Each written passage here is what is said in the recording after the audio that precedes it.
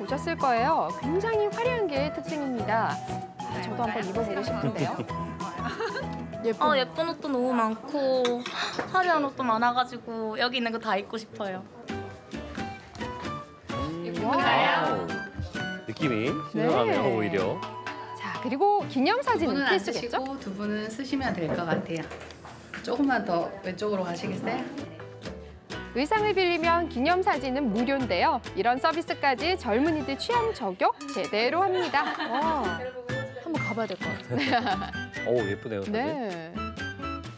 처음에는 저한테 어울릴까? 라고 생각했는데 막상 입어보니까 너무 다른 옷들도 다 이쁘고 잘 어울려서 어, 새로운 추억이 생긴 것 같아요.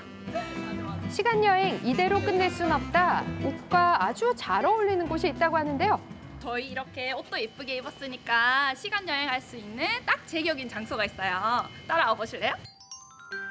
차로 10분 거리인 합천 영상 테마파크입니다.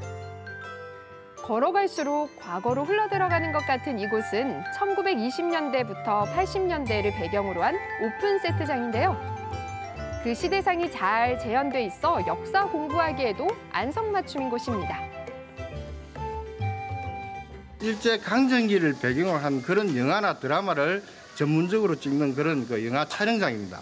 그런 현대사를 몸소 체험할 수 있는 학생들의 근대 교육 장소로도 지금 이용되고 있는 그런 또 상황입니다. 이 전차도 실제 일제 강점기 때 이런 전차가 운행이 됐습니다. 그걸 그대로 지금 모형으로 이렇게 재현을 시켜놓고 있는데 모형이지만 이 열차가 사실 움직입니다. 그래서 요 레일이 다 깔려 있는 게 영화 촬영 시에는 실제 요 동력을 이용해서 이렇게 운행을 하고 있습니다. 아, 맨날 책에서만 역사 공부를 하다가 실제 현장에서 이렇게 직접 옷도 입고 어, 설명도 들으니까 너무 잘 이해가 되는 것 같아요.